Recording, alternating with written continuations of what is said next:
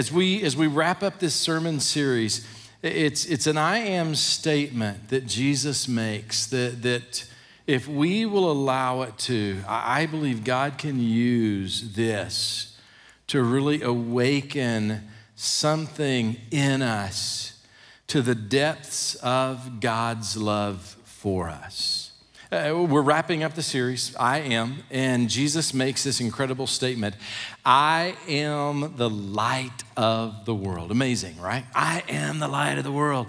And when Jesus makes this statement, I'm gonna, I'm gonna go ahead and give away the ending of the sermon right here at the start so that you can just kind of keep this idea in your mind the whole time. When Jesus says, I am the light of the world, he is talking about, I believe, as I understand the text, that he is the one who makes his unseen love for you and for me and for everyone you know visible.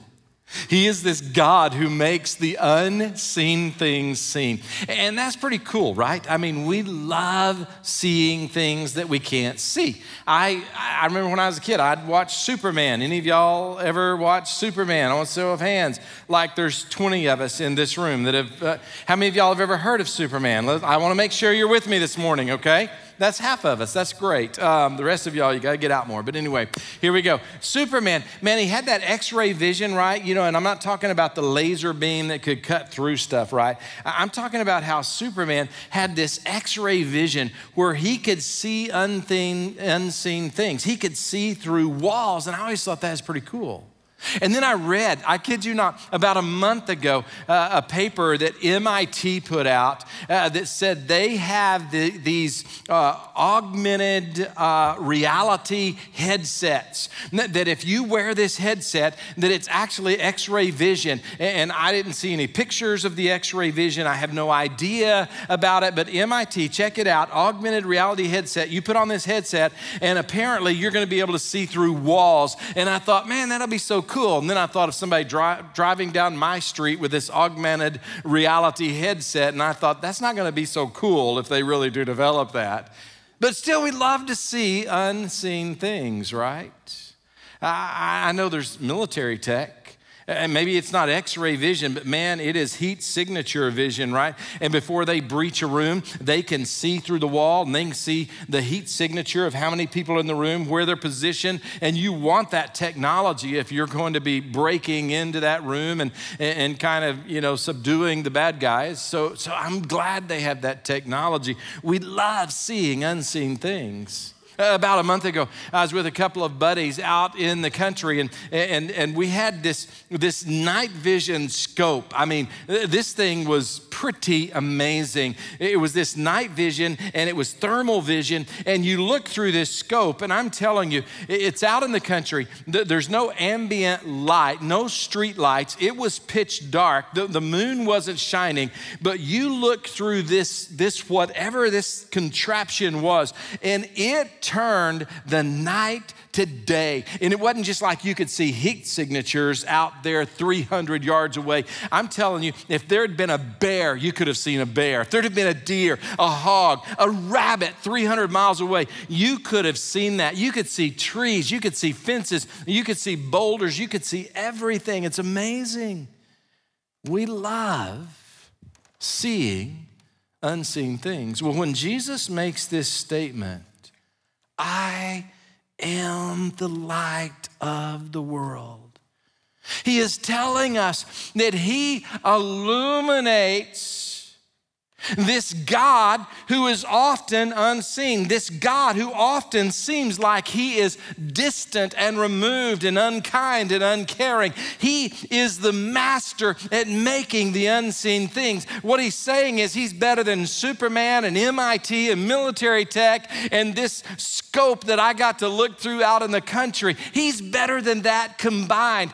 And when it says that Jesus is the light of the world, he illuminates what does he illuminate? He illuminates God, and the Bible says that God is love. What he is doing is he's illuminating, he's making his unseen love for us seen. He makes this statement in the Gospel of John. Let me invite you to open your Bible uh, to the Gospel of John. We're going to read the first seven verses. And, and I'm going to ask you to stand. So go ahead and stand. And, and as you stand, I'm going to read through the text, but, but you follow along. And, and by standing, I'm inviting you to just make the declaration God, I'm standing in honor of your word because your word is my authority for faith and practice. Students, that means uh, when we say it's our authority for faith, uh, God's word is our authority for what we believe. We don't believe what society says or what cancel culture says. We believe what God says. His word is our authority for faith and it's our authority for practice. It's our authority for how we're going to live our life. We're not just going to live our life like our buddies or like we want to. We're going to live our life in line with what God teaches us in His Word. In the Gospel of John, chapter 9, it says this.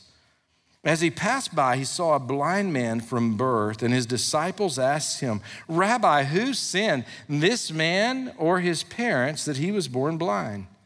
Jesus answered, It was not that this man sinned or his parents, but that the works of God might be displayed in him.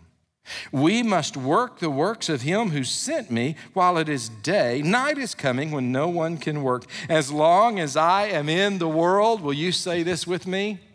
I am the light of the world.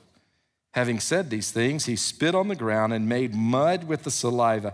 Then he anointed the man's eyes with the mud and said to him, Go and wash in the pool of Siloam, uh, which means sent. So he went and washed and came back seeing. Amen. God bless you. Thank you for honoring God and His Word. Grab a seat and we're going to dive in. When I hear Jesus saying, I am the light of the world, here is what I believe Jesus is saying to us Jesus works to make his unseen love seen. Jesus works to make his unseen love seen. What I want you to do for me, just for a moment, is we're going to look now at Jesus' works. We're, we're going to set aside the idea of, of, how cool it is to see unseen things. We, we want x ray tech, we want to be able to see what others can't see. And, and let's just focus over here for a moment on how Jesus works. Did you know the Bible says that Jesus is working in your life? And you go, Well, I sure can't tell it. The Bible says that Jesus is working in your life 24 7. Jesus is working in our world. Jesus is working in everyone around you. Do you know it says in the book of Psalms that God neither slumbers nor sleeps. Jesus himself said, My Father is working until now, and I am working. That means that Jesus is working nonstop. He neither slumbers nor sleeps. Jesus is working in your life. He's working in the lives of the people around you. He's working in the heart of every lost person. He is working in the world around us. You go, if Jesus is so busy and if he's working so much, what is it that Jesus is doing? Well, first of all, Jesus is working in you to give you a desire for him. Do you know you wouldn't even be here at church today if the Holy Spirit wasn't inside you working and giving you a desire to be here, a desire to hear from God? Here's where it says that in Scripture For God is working in you, giving you the desire and the power to do what pleases Him. Did you know the Bible says that you and I all have sinned and come short of the glory of God? It actually says that our throat is an open grave. Apart from Jesus, there is nothing commendable in us. But in Jesus Christ, we receive the righteousness of Jesus, and the Holy Spirit dwells within us, and He gives us this desire for God, this hunger for God, and then He gives us the power to actually pursue Jesus and follow Jesus and obey Jesus. Jesus is working in you. The biggest evidence evidence of that is that you are here this morning. What else is Jesus doing? Well, he's holding all things together. Listen to this verse. And he is before all things, and in him all things hold together. See, Jesus is working in your life, holding your life together. He's working in the world, holding the world together. Did you know Jesus is even into politics? And some of y'all are going, oh, don't go there, preacher. Oh, I'm going there. Did you know it says in the book of Proverbs? The king's heart is a stream of water in the hands of the Lord. He directs it wherever He will. That means every leader, every king, every government official, their heart is like it's in the hands of God and, and He's directing it like the, the banks of a river direct the flow of the water. And you go, does that mean every leader in the world is a follower of Jesus? No, it just means that Jesus is God and Jesus is sovereign and He is the king over all the kings and He's the one who's ultimately in charge. And it means that our world is not spinning aimlessly out of control, but it means that Jesus is directing all of creation to one point in time when you and I will stand before Jesus. And some will bow and confess him as Lord, and others will turn away in shame. But Jesus is saying that he is holding all things together and the world's not spinning out of control. It just looks like it is. And you know what else he's doing? He's comforting you. Listen to this verse. The Lord is near to the brokenhearted and saves the crushed in spirit. those times when you're going through it on the dark night of your soul and it seems like God's a thousand miles away, Jesus is going, it just seems that way. But let me tell you something I am here. He is near to the brokenhearted. He is working in your life to comfort you. He's guiding. The Lord directs the steps of the godly. He delights in every detail of their life. God is actually intimately involved in every detail of your life. He's giving wisdom to those who ask. If any of you lacks wisdom, let him ask of God who gives to all generously. What is he doing? He's convicting you of sin. Uh, the Bible says very clearly, and when he comes, he'll convict the world concerning sin and righteousness and judgment. The Holy Spirit is active in your life today. And it's kind kind of like that hot cold game, you know? And when you're walking away from the Lord and going in directions He doesn't want you to go, I mean, the Holy Spirit is inside you going cold, cold, cold. You're getting colder, colder, colder. And you go, what? And you kind of turn around, hot, warmer, warmer, warmer. Keep going that direction. See, the Holy Spirit is doing that in your life every day. And apart from the restraining grace of the Spirit, your life would tumble out of control. Jesus said, I am involved in your life forgiving. If we confess our sins, He's faithful and just to forgive us and cleanse us from all unrighteousness. Let's not forget, He's working to prepare a place for us. In my Father's house are many rooms. If it were not so, would I have told you that I go to prepare a place for you? And if I go and prepare a place for you, I will come again and take you to be where I am. Great news. This morning, maybe you came in here thinking, God is a million miles away. God does not care about me. God is letting my life fall apart. And Jesus is going, You got to understand something. I am working. Where do we get that? We get it right out of the text. Jesus answered, It was not that this man sinned or his parents sinned, but that the works of God. Jesus said, I am working. So now it's legitimate to stop and say, If Jesus is working overtime 24 7, What's the point of all of his labor? Uh, this, this one who says, I'm the light of the world. What is the point of all of his labor? The point is to make his unseen love seen. Where do we get that? From the text. Jesus answered, It was not that this man sinned or his parents sinned, but that the works of God, do you see? Jesus is working, the works of God might be displayed in him. Everything that Jesus is doing in your life, students, think about this. Jesus is working in your life, and He says, I am working to display God. The Bible says very clearly, God is love. Uh, so, what is Jesus displaying about God? Well, right up there at the top of the list, we'd all have to agree it is the depth of God's love for you and for me. Let's kind of break down the text. Jesus is moving along and, and he encounters a man who is born blind. That means this guy has never seen a day in his life. He has never looked into his father's face, he's never looked into his mother's eyes. Oh, he's heard the tenderness in their voice, he's felt the tenderness of their embrace, but he has never looked into their face. For that matter, he's never seen an eagle soaring in the sky. Uh, this man had never seen a field of wildflowers, a bunch of bluebonnets on the side of the road. And Jesus comes along and, and Jesus spits and scoops down some of the dirt and he makes, and I quote, made mud with the saliva. Don't you imagine the blind guys going, uh, Jesus, you know I'm deaf. Uh, you know I'm blind, not deaf, right? I heard you spit. but go ahead and make a mud pie if you want to. At this point, I'm desperate. I'll, I'll, I'll, I'll, try anything. Go ahead and just apply it to my eyes. So Jesus applies this, this paste of mud to his eyes and he says, Go and wash. And the guy goes and washed. And I love the Bible, it just says he came back seeing. He came back seeing. Now, here's the question Why? Why did Jesus heal this blind man? The disciples ask him that. Well, what, what are you doing? Well, why are you doing this? And he goes, I healed this blind man to display the works of God.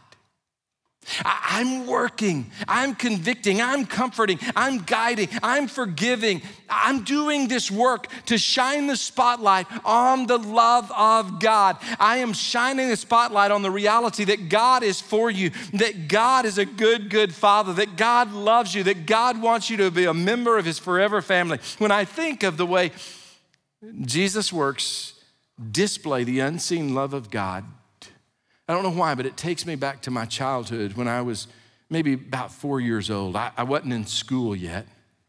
My brother and sister, who are both older, were playing in the backyard, and I was with them. And, and they had climbed up into the tree, uh, which we had this little platform built. It wasn't a true tree house, but it was a little platform up in this tree. And, and, and my dad had nailed these wooden steps uh, up the trunk of the tree. And, and so my brother and sister had climbed up there and were inviting me up there. And uh, imagine that. I was going to get to play with my brother and sister, so I'm just climbing up these steps.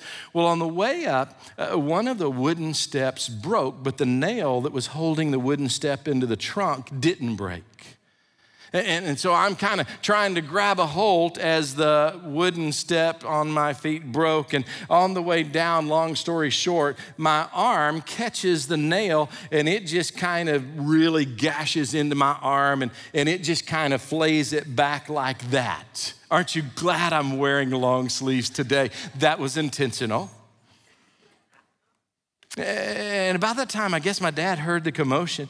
And my dad came over and and he didn't even break his stride. He just looked down and he said, Yep, that's gonna need stitches. I remember as a four year old thinking, that wasn't exactly the response I was expecting. Uh, pretty soon, my mom came rushing out of the house and she had towels and bandages and, and she bandaged up my arm and, and, and just, you know, grabbed me up and made a beeline for the car. And, and, and you could tell she was so worried and there were tears in her eyes. And, and the truth is, if you ask me, did I go to the emergency room hospital? I don't remember where I went, four years old. I can't remember. I just remember as soon as my mom picked me up in her arms, I knew I was going to be okay because I was held by one who loves me so much. Now, as I got older, because that kind of stayed with me, and I began to convince myself that my dad doesn't really love me. And, and, and, then it dawned on me, I don't know when, probably yesterday, I'm not sure. But, but you know, it dawned on me at some point that my dad actually loved me very deeply. And my dad didn't break stride because he was making a beeline to the house and he was saying, Honey, get out there. Gary's ripped his arm open. And my dad was grabbing his keys, and my dad was making a beeline to the car and getting my brother and sister in the car, and we were all racing to the hospital as my mom held me in her arms. See, the reality is, I couldn't see my father's love, but it didn't make my father's love less real. As a matter of fact, I, at some point, not long after that, I can tell you, I never doubted whether or not my mom and my dad loved me with all of their heart. And Jesus is saying, "You've got to understand something. I'm working in your life and I'm forgiving you. I'm giving you wisdom. I'm guiding your steps. I'm, I'm convicting you of your sin. I'm right there. I'm holding you in my arms because I want you to see the depths of my love for you. I want you to understand.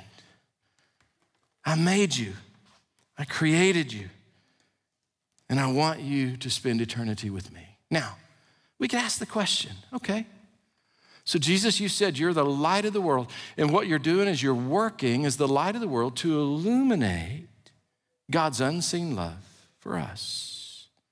So, what's the right response? How should we respond to this one who declares, I am the light of the world? My suggestion is this number one, love the light. His name is Jesus. Love him back. The reality is, uh, Jesus is working in your life. And remember this as you think about what he's doing. Every good and perfect gift is from above, coming down from the Father of lights, with whom there's no variation or shadow due to change. Uh, where is Jesus working in your life? What is Jesus doing? Are you breathing right now? If you're breathing right now, raise your hand. I want to see how many of y'all are breathing. Okay, that's 90% of us. The rest, we're gonna call, you know, uh, 911, but not until after the sermon. I wanna finish, okay? So, so here's the deal you're breathing right now. Do you know that God is the one who gives your lungs the capacity to breathe? Did you eat anything this past week? Uh, do you have a future in heaven that nothing can destroy? Has God forgiven every sin that you've confessed to Him? Uh, has He given you a talent so that you can get a job and keep a job and make money and provide for your family? Uh, how has God blessed you this past week? Do you have a roof over your head? Every one of those things Jesus said.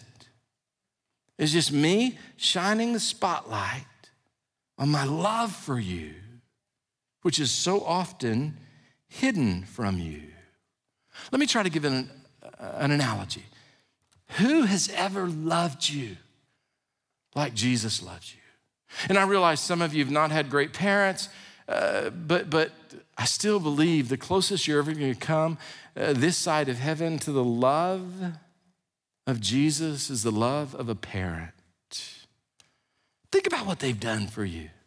You were born, and immediately they started changing your diaper, your diaper. Not just number one. That's love. And they started feeding you and they clothed you and they, they made sure you had a roof over your head, right? And then as time goes on, uh, they're helping you with your homework. And they probably helped you buy your first car. And some of y'all are right there going, No, no, no, my parents didn't help me. Okay, boo hoo. They didn't help you buy your first car, but look at all the other things that they've done for you. And your parents were there up late at night worrying about you and praying for you when you were too foolish to worry about yourself or pray for yourself. Why did they do that? Why did they do that and never ask for payment? Now, I looked up on salary.com. Maybe you've done this before. Moms, you're gonna love this illustration. Uh, forget about dads, their contribution, just moms alone. Salary.com, check it out. Uh, 2019 numbers. For some reason, I couldn't find 2023 numbers, but how much would it cost to hire someone to do all the things that a mom does for a child for a given year? And salary.com says 2019 numbers $178,000 a year is what you'd have to pay.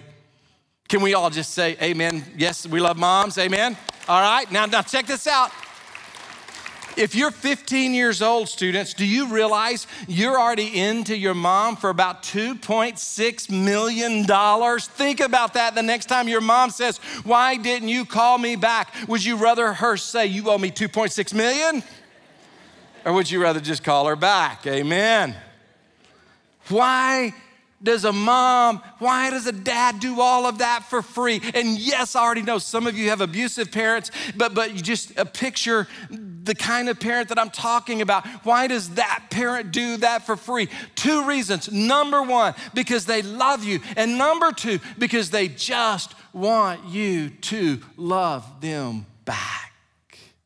And Jesus is saying, I love you. I'm working in your life to display that love because I love you and because I just want you to love me back. How do we respond to I am the light of the world? How about this? Number one, love the light, love Jesus. The way you do that is initially by repenting of your sin and placing your faith and your trust in Jesus, and by confessing Jesus as your Lord. Jesus, I make you the King of my life. You do that initially by trusting in Jesus for salvation, but you do that daily by diving into His Word and listening to His voice and confessing your sin and following following in obedience, pursuing Jesus. Love him back, number one. Number two. Number one, love the light. Number two, Jesus says, I'm the light of the world. How do we respond? Love the light. And second, be the light. Jesus says in another place, You are the light of the world. A city set on a hill cannot be hidden. Be the light. Jesus says, You are the light of the world. As long as I'm in the world, I'm the light of the world. Uh, when I leave, you are the light of the world. Now, now, what does that mean that we're the light? Let me illustrate it like this. Out in the country where I grew up, I'm telling you, it's dark, no ambient light, no street lights. If the moon ain't shining, it's dark. And that's how I know there are such things like Bogey Creek monsters. They're real, they lurk in the shadows. That's why you do not go outside at night if you live in the country. Amen. Now, listen to me. Uh, now, now, if the sun, if the, if the moon is up and there's a full moon, I'm telling you that full moon just, just illuminates everything. You can walk outside, even out in the country, no ambient light, with no flashlight. It just kind of turns the night to day. But every one of us, we know enough science to know that the moon is not actually producing that light. The moon is just what? Help me out. Reflecting it off of the sun. And so here's what Jesus is saying You're the light. Be the light. See, when you do what I do, when you forgive someone who doesn't deserve to be forgiven, when you love even your enemies, when you listen, be quick to hear, slow to speak, and slow to anger, for the anger of man does not achieve the righteousness of God. See, when you start listening to people, when you start serving people, when you start doing the works that Jesus does, what you're doing is you're reflecting the light of Jesus' love and you're making that love visible for them to see. He's saying, reflect my light to the people around you. Did you ever watch that show, Invisible Man? Y'all don't even worry about it. Just Google it something later. Okay, me either. It was a dumb show. I didn't like it, but I still saw enough of it to know that there was this invisible man. Trust if you live out in the country and you're dealing with Bogey Creek monsters, you don't want to think of invisible men in addition to that. I hated that show. But, but I watched enough of it to know that, that the only way you could make the invisible man visible was to throw something on the invisible man, maybe dirt or dust or paint and then all of a sudden, you could see the outline of the invisible man. And Jesus is saying, When you are the light, when you do the works that I do, when you do them for others, you're the paint and you're illuminating this light whose name is Jesus, who loves the people around you with all of his heart. So, how do we respond to Jesus' declaration? I am, I am the light of the world. May we respond by loving the light. Jesus, you've shown me your love, and I'm gonna love you back this week. May we respond by being the light. Jesus, I'm gonna do for others what you've done for me so they can see the love that I've seen in you. I'm going to pray. Richard's going to come and just dismiss us. Uh, my prayer is that you will not leave this place, though, without responding, taking a step. And for some of you, that step may be to receive the light who is Jesus. And at the next step room, you can do that. We'll, we'll be back there. I'll be back there, and we'll tell you how you can make a step towards Jesus today. We'll tell you how you can give your life to Jesus. Maybe you want to know about membership. Maybe you want somebody to pray for you today. Richard's going to come and dismiss us right after I pray. And then you, you take a step towards Jesus today. Lord, we love you and we thank you for the way that you have loved us and shown your love to us. Thank you, Jesus, for being the light of the world. We pray in Jesus' name. Amen.